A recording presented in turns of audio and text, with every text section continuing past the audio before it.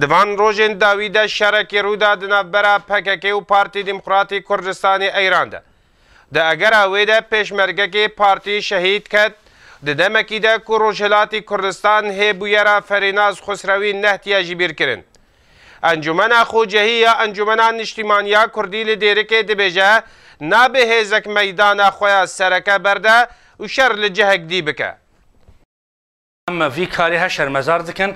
Çi heqê PKK'ê nîne herê ji dêla rejêma Îranê Pêşmergeyê Demokratîk Iraq Îran dorpêç bike. Tenê karê wê û saha wê heqî Bakurê Kurdistanê ye mêranî û çelengî bila li wê bike. Em karê wê di Kurdistana Tirkiye de pîroz dikin lê tedexula wê di Kurdistana Sûriyê de, di Kurdistana Îranê de em şermezar dikin. Partî Demokratîk Kurdistanî Sûriye tekez dike ku ev dem ne demê şerê birakujî ye û em raberî guhertinên sereke ne û çareserî darxistina kongirê netewî ye.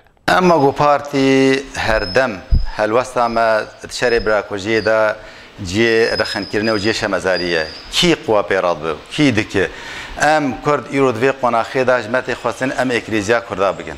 Em ne şerê navxweyî li dar bêxin ji ber. Pîlanê dijmin in vê em jê re hişyar bin, di vê qonaxê de berê me lazim e li Êkilêziya Kurdî be, em Kongrê Netewî yê Kurdî bê kirin ji bo çareserî ji va nexweşî û va nakokiyê here em hew berê Kurda bike hev û îro di vê qonaxê de divê em hişyar bin û pîlanên dijmin ser me nêpêk anîn. Her wiha Partî Demokratî Pêşvero dibêje, nabê berê tifenga Kurda bikeve hev û şerê birakujiyê xêzên sor in nabê werin derbas kirin. Em vî şerî îdane dikin.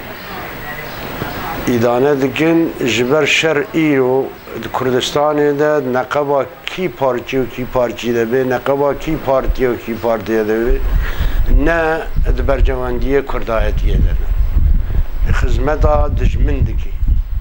Ji ber wê yekê jî em her du partiya dengê xwe digihînin wa Di vê qunaxa he hesas û deqîq de divê ev şer çênebê û divê birakujî nebê û divê xwîna birakujiyê xetekî sor bê her kes lê bisekinî.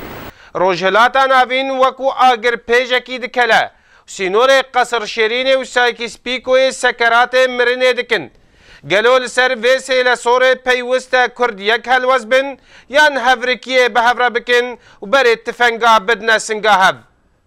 Ji dêrikê Ehmed Sofî, ark.